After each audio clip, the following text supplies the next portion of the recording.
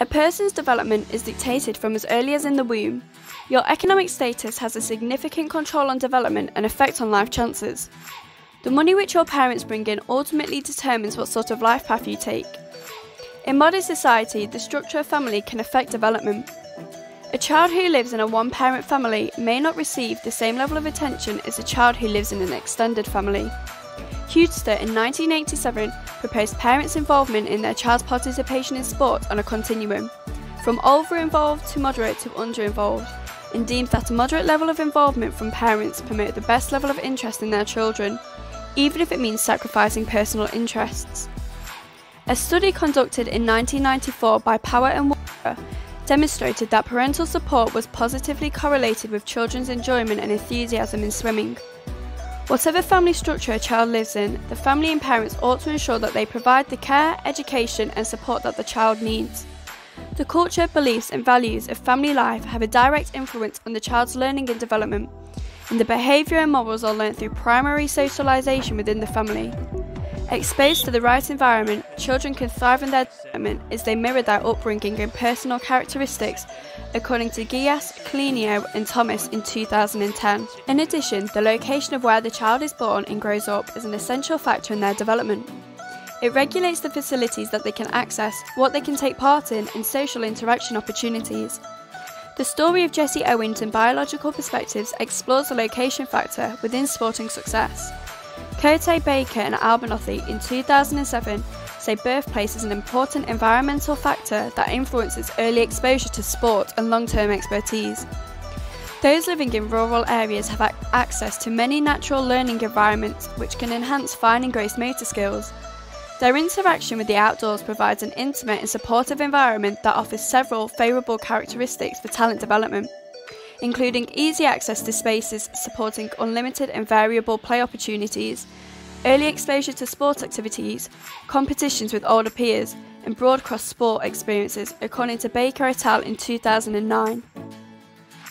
Families that live in urban and city areas are likely to have access to early year settings and a variety of learning opportunities, such as playgrounds, sport clubs, and leisure complexes. Access to these facilities can enhance development and growth.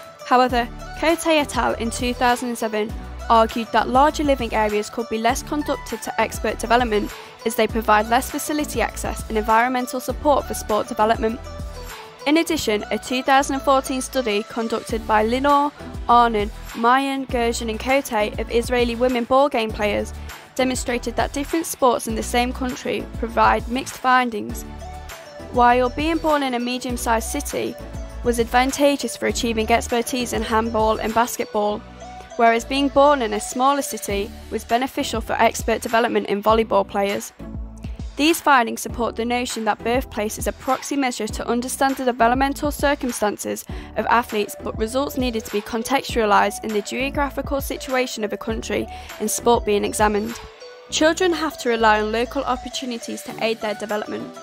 Parents have a responsibility to ensure that wherever they live, their child does not feel deprived and can have a range of experiences to support development and may include travelling to sport facilities or supervision. Linking back to the beginning of the video, the income of families differ significantly and can have a vast impact on development. One family may have two incomes if both parents are working, others, however, may be dependent on financial support from the government. Saskatchewan Ministry of Tourism, Parks, Culture and Sport in 2008 said children whose parents participated in sport were more likely to participate in sport themselves, and children from lower socio-economic status households were less likely to participate from those in higher socio-economic households. Diet can also be dictated by the family's income. Children require a balanced diet with all the essential nutrients for growth and development. A child's diet has a direct impact on their development and ability to learn.